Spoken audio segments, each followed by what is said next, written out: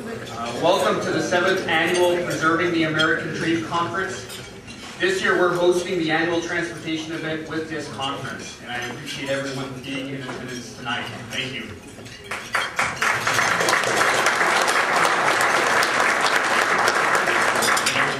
For those of you that are new to our work, I'd like to take a few moments to introduce you to the Washington Policy Center.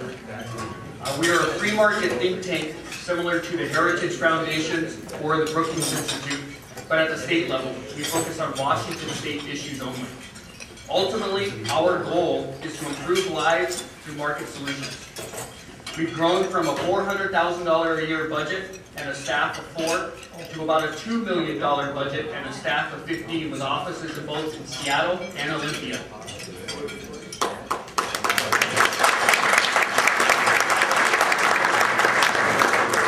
Thank you. Thank you for that support. Over the last three years, we've raised about $4.2 million as part of our first ever, ever capital campaign to open seven full-time research centers. Those seven centers include the Small Business Center, the Healthcare Center, Transportation, the Environment, Government Reform, Education, and our bill tracking website called WashingtonVotes.org. Each center is managed by a full-time director guided by an, an, advisory board made up of technical and policy experts. Many of our Transportation Advisory Board members are in the audience tonight. Thank you for being here with us this evening.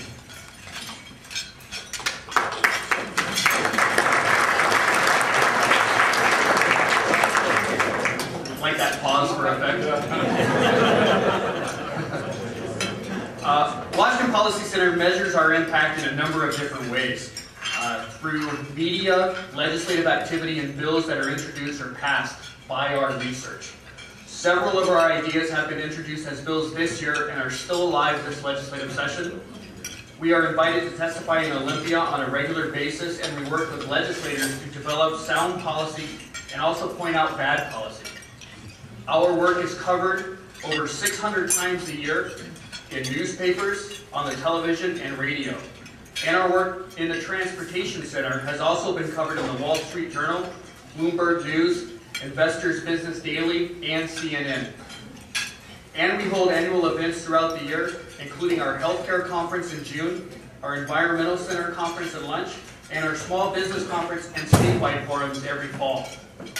And our annual dinner, many of which I'm sure you have attended, uh, is attended by over a thousand people in the last two years, we've honored Czech Republic President Václav Klaus, George Will, and Florida Governor Jeb Bush. We are a 501c3 nonprofit organization, so to continue to promote common sense policies in our state, we rely on the financial support of individuals like you. We do not accept public money, and we're not subsidized by any public agency. And now a little bit about the Transportation Center. The Transportation Center, we look at everything through the lens of congestion relief. And tonight we're here to answer the question is how do transportation policies properly mix with land use policies? And I'd like to share a little story with you that illustrates the, the mix between the two. A few years ago, we had a transportation ballot measure uh, before voters. And I was invited to participate in a panel discussion at Seattle University Law School. And I was on the panel with uh, two other environmental groups. And the question was posed to us, how do you define, or how, how do you think land use policy should mix with transportation policies?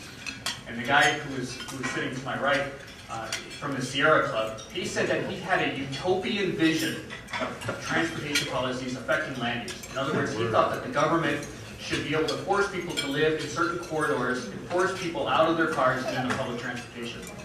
When the question came to me, I said, well, I have a very different view on how land use policy should mix with, with transportation policy.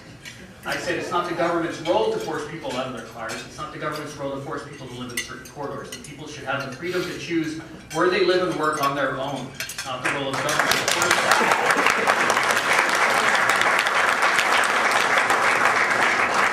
Thank you. I, I, I, wish I would have had the same response at, at Seattle University Law School, but in fact it was quite different. In fact, afterwards, this, one of the Seattle University Law School professors came up to me and he was he was not happy. He, in fact, he was uh, quite spitting mad. Uh, I was very afraid that he was going to come over the table at me.